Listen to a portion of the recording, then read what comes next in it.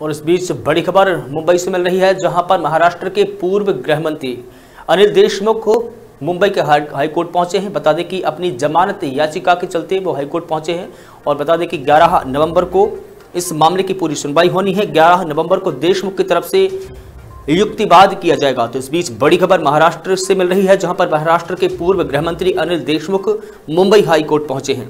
CBI के मामले में जमानत के लिए कोर्ट में उन्होंने याचिका दाखिल की है। मुंबई हाई कोर्ट के सीबीआई को याचिका पर 9 नवंबर को उत्तर देने के निर्देश भी जारी किए गए हैं। देशमुख की याचिका पर 11 नवंबर को फिर से सुनवाई होगी। बता दें कि 11 नवंबर को देशमुख की तरफ़ से युक्तिवाद किया जाएगा। तो बड़ी खबर महाराष्ट्र से मिल रही है, जहाँ पर महाराष्ट्र के पूर्व गृह मंत्री अनिल देशमुख मुंबई के हाईकोर्ट पहुँचे हैं। सीबीआई मामले में जमानत के लिए उन्होंने याचिका दाखिल की है और बता दें कि मुंबई हाईकोर्ट के सीबीआई को याचिका पर 9 नवंबर को उत्तर देने के निर्देश भी जारी किए हैं और देशमुख की याचिका पर 11 नवंबर को सुनवाई होनी है।